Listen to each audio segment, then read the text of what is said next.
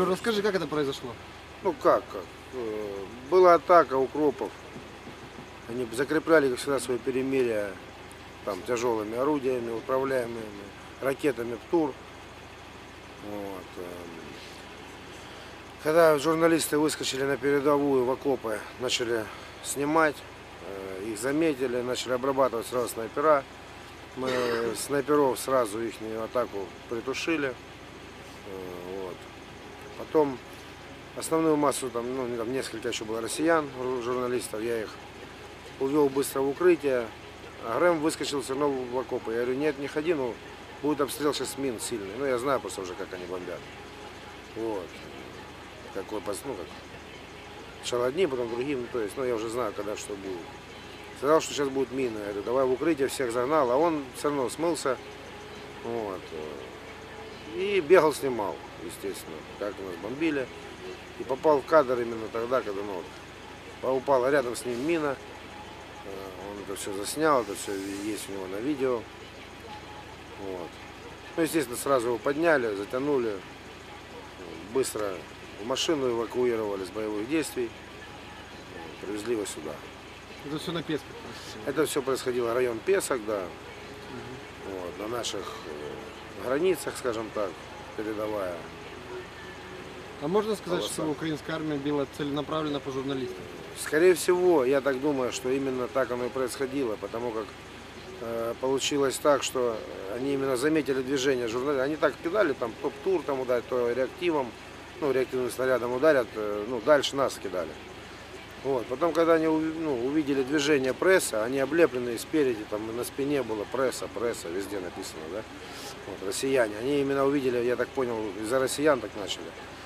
Э, увидели, что они передвигаются по нашим блиндажам, окопам, вот, и сразу начали облаживать очень сильно. То есть, то есть сначала снайпера там начали переводить АГС в нашу сторону, ну, бить, ну и так далее. То есть там ну, жесткий обстрел был, очень жесткий. Здание, в котором остальных я журналистов прятал, там, ну, все дрожало, все тряслось, бетонные стены, все обсыпалось. Ну, сильно били, короче. Четко, целенаправленно. Ну, видать, кто-то или говорит им о том, что журналисты там с России. Ну, как-то так произошло. Быстро эвакуировали. Слава богу, он цел. Ну, осколок, да, вытянули уже, осколок довольно-таки крупный.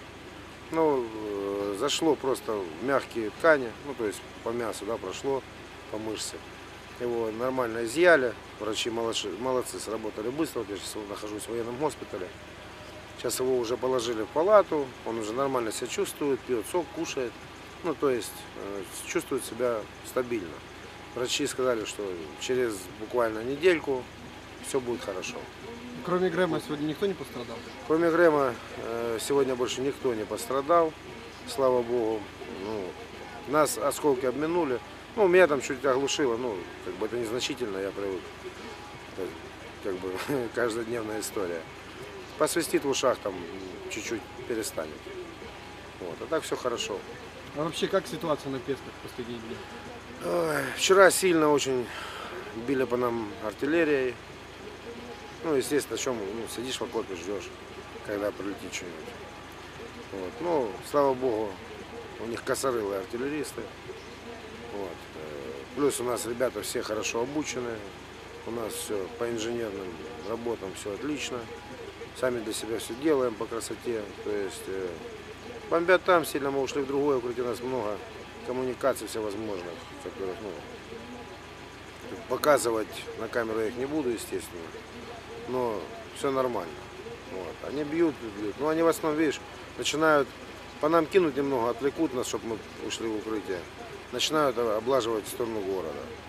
Они с нами не хотят воевать. Ну, вышлют там к нам, да, каких-нибудь идиотов с пулеметами, они начинают там по нам стрелять.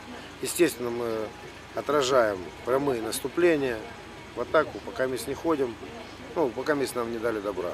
Дадут добро, пусть прячутся, вот сразу бегут, бросают все и уходят. Они будут отвечать за каждую царапину на моих бойцах, на моих друзьях, на домах там и так далее. То есть, ну, отвечать будут за все и ответят. Шутить с ними никто не будет, играться тоже. Пока мы сейчас сидим в глухой обороне, э, потому что мы соблюдаем договор о не нападений там и так далее. То есть э, границу просто держим. Если они борзеют, да, мы отвечаем. Но только лишь отвечаем. Но если нам дадут вперед, они почувствуют на себе, что это такое. Мы не будем долго сидеть на одном месте. Выбьем быстро. Так что пусть готовятся. Чем больше техники, тем лучше. При- притягивайте, ребятки. Нам пригодится. Мы себе заберем. Спасибо.